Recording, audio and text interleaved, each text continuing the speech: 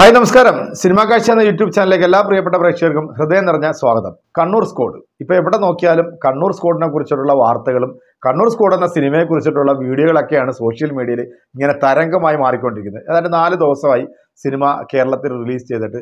Robbie Varghese Raj എന്ന് പറയുന്ന ഒരു പുതിയ സംവിധായകനാണ് ഈ സിനിമ സംവിധാനം ചെയ്യുന്നത് ഒരു റിയലിസ്റ്റിക് സ്റ്റോറി ആയിട്ടാണ് സിനിമ എത്തുന്നത്. റിയലിസ്റ്റിക് ആണെങ്കിലും അത്യാവശ്യം സിനിമാറ്റിക്കും കൂടെ ചേർന്നുകൊണ്ട് പ്രേക്ഷകനെ ബോറടിപ്പിക്കാത്ത തരത്തിൽ അല്ലെങ്കിൽ പ്രേക്ഷകരെ ത്രില്ലടിപ്പിക്കുന്ന തരത്തിലുള്ള ഒരു ഗംഭീര മേക്കിങ്ങിലൂടെയാണ് ഈ സിനിമ മുന്നോട്ട് പോകുന്നത്. സിനിമ കഥ പറയുന്നതും. ഇത് എടുത്തു പറയേണ്ട രണ്ട് മൂന്ന് സവിശേഷമെന്ന് പറയുന്നത് ഒന്ന് സിനിമയുടെ സ്ക്രിപ്റ്റ് രണ്ടാമത്തത് സിനിമയുടെ സിനിമോട്ടോഗ്രാഫി മറ്റൊന്ന് ഇതിന്റെ ബീജിയം അങ്ങനെ ഓരോ വശങ്ങൾ നോക്കുകയാണെന്നുണ്ടെങ്കിൽ സിനിമ ഒരു വേറൊരു ലെവലിലേക്ക് നമ്മളെ കൊണ്ടുപോകുന്ന ഒരു കാഴ്ചയാണ്. ഫസ്റ്റ് ഹാഫ് നമ്മൾ സിനിമ കണ്ടു കഴിഞ്ഞാൽ ഇതിന്റെ സെക്കൻഡ് ഹാഫ് കാണാനായിട്ടുള്ള ഒരു ആകാംക്ഷ. ഹാഫിനെ കവച്ചു വെക്കുന്ന തരത്തിലുള്ള ഒരു പ്രകടനമാണ് സെക്കൻഡ് ഹാഫിലേക്ക്. ഇതിനകത്ത് ഓരോരുത്തരും അതായത് ഒരു ജൂനിയർ ആർട്ടിസ്റ്റ് പോലും ചെയ്തിരിക്കുന്നതെന്ന് പറഞ്ഞാൽ ഈച്ച് ആൻഡ് എവരി എല്ലാവരും അടിപൊളിയായിട്ട് തകർത്ത് അഭിനയിച്ച ഒരു സിനിമ. മമ്മൂക്കാട ഒരു അഴിഞ്ഞാട്ടം തന്നെയാണ് സെക്കൻഡ് ഹാഫിനകത്ത് നമുക്ക് ഈ സിനിമയെ കാണുന്നത്. എന്തായാലും സിനിമയെക്കുറിച്ചിട്ടുള്ള സിനിമ റിവ്യൂകളും കാര്യങ്ങളൊക്കെ നമ്മൾ ഇതിനടക്കം തന്നെ ചെയ്തതാണ്. നമ്മളിന്ന് പ്രധാനമായിട്ടും വന്നിരിക്കുന്നത് സിനിമയെക്കുറിച്ചിട്ടുള്ള ഒരു കളക്ഷൻ റിപ്പോർട്ടുമായിട്ടാണ്. സിനിമ റിലീസ് ചെയ്ത അന്നത്തെ ദിവസം ഈ സിനിമയുടെ ഒരു കളക്ഷൻ എന്ന് പറയുന്നത് രണ്ട് കോടി നാൽപ്പത്തഞ്ച് ലക്ഷം രൂപയായിരുന്നു. അതായത് സിനിമ വ്യാഴാഴ്ചയായിരുന്നു റിലീസ് ചെയ്ത് റിലീസ് ചെയ്ത ദിനത്തിലായിരുന്നു ഈ ഒരു കളക്ഷൻ റിപ്പോർട്ട് ഇത് കേരളത്തിൽ നിന്ന് മാത്രമുള്ള ഒരു കളക്ഷൻ റിപ്പോർട്ടാണ് എന്നാൽ രണ്ടാം ദിവസം ഈ സിനിമ നേടിയത് രണ്ട് കോടി എഴുപത്തഞ്ച് ലക്ഷം രൂപയാണ്. മൂന്നാം ദിവസം സിനിമയുടെ കളക്ഷൻ വർദ്ധിക്കുന്ന ഒരു കാഴ്ചയാണ്. അത് ഈ ഒരു പബ്ലിക് റെസ്പോൺസ് അതായത് മൗത്ത് പബ്ലിസിറ്റി കൊണ്ടാണ് ഈ സിനിമ ഏറ്റവും കൂടുതൽ ഹിറ്റായത് കാരണം ഈ സിനിമയ്ക്ക് വലിയ അവകാശവാദങ്ങളോ അല്ലെങ്കിൽ വലിയ കുട്ടിക്കോശിച്ചൊന്നും അല്ല ഈ സിനിമ റിലീസിനായിട്ട് എത്തിയത് ഒരു തരത്തിലുള്ള ഹൈപ്പും ഇല്ലാതെ ഒരു നോർമൽ സിനിമ വരുന്ന രീതിയിലാണ് സിനിമ തിയേറ്ററുകളിൽ എത്തിയത് എന്നാൽ ആർ ഡി എക്സ് എന്ന് പറയുന്ന സിനിമയെ കവച്ചു വെക്കുന്ന തരത്തിലുള്ള ഒരു വിജയത്തിലേക്കാണ് സിനിമ പൊയ്ക്കൊണ്ടിരിക്കുന്നത്.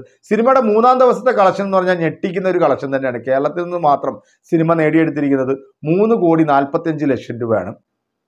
നാലാം ദിവസം സിനിമയുടെ കളക്ഷൻ നാല് കോടി ഇരുപത്തഞ്ച് ലക്ഷം രൂപയാണ് സിനിമ മൊത്തത്തിൽ കളക്ട് ചെയ്തത് എന്തായാലും നാല് ദിവസം കൊണ്ട് കേരളത്തിൽ നിന്ന് മാത്രം ഈ സിനിമ നേടിയത് പതിമൂന്ന് കോടി മുപ്പത്തഞ്ച് ലക്ഷം രൂപയാണെന്നുള്ള ഒരു കളക്ഷൻ റിപ്പോർട്ടുകൾ വരുന്നുണ്ട്. അതോടൊപ്പം തന്നെ ജി സി സി വരുന്ന ഞെട്ടിക്കുന്ന ഒരു കളക്ഷനും കൂടെ ചേരുമ്പോഴത്തേക്ക് ഏതാണ്ട് നാല് ദിവസം കൊണ്ട് സിനിമ മൊത്തത്തിൽ നേടിയിരിക്കുന്നത് മുപ്പത്തിരണ്ട് കോടി മുപ്പത്തിരണ്ട് കോടി നാൽപ്പത് ലക്ഷം രൂപ എന്ന പുതിയൊരു കളക്ഷൻ റിപ്പോർട്ടാണ്. കളക്ഷൻ ട്രാക്കേഴ്സ് പുറത്തു. എന്തായാലും സിനിമയെക്കുറിച്ചിട്ടുള്ള ഒരു പോസിറ്റീവ് ഘടകവും അതുപോലെ മൗത്ത് പബ്ലിസിറ്റിയിലുമാണ് സിനിമ ഇത്രയധികം വിജയത്തിലേക്ക് എത്തിയത് എന്ന് വേണം നമുക്ക് ഈ ഒരു സിനിമയെ കുറിച്ചിട്ട് നമുക്ക് പറയാനുള്ളത്.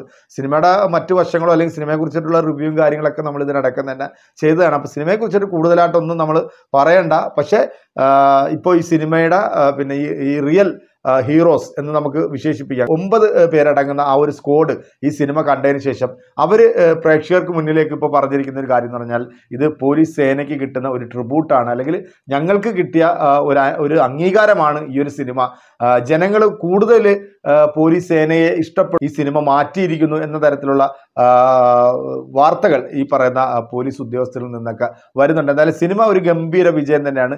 അതിലൊരു മാറ്റമില്ല ഏതാണ്ട് എത്രയും പെട്ടെന്ന് തന്നെ അമ്പത് കോടി കടക്കുന്ന ഒരു സിനിമയായിട്ട് ഈ സിനിമ മാറിക്കൊണ്ടിരിക്കുകയാണ്. എനിക്ക് തോന്നുന്നു ജയിലർ എന്ന സിനിമയുടെ കളക്ഷൻ കളക്ഷൻ റെക്കോർഡ് ഒരു പക്ഷേ ചിലപ്പം ഇനി വരുന്ന രണ്ട് ദിവസങ്ങൾ കൊണ്ട് സിനിമ കവർ ചെയ്യും എന്ന് തന്നെയാണ് കളക്ഷൻ റിപ്പോർട്ട് സൂചി ഇപ്പം ഇത് നിലവിലുള്ള ഒരു കളക്ഷൻ റിപ്പോർട്ട് സൂചിപ്പിക്കുന്നത്.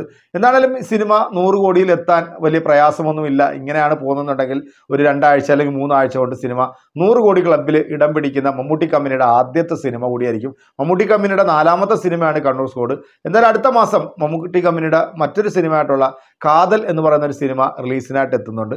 അതിനകത്ത് മമ്മൂട്ടി ജ്യോതിക ആണ് ഈ സിനിമയിൽ കേന്ദ്ര കഥാപാത്രമായിട്ട് എത്തുന്നത്.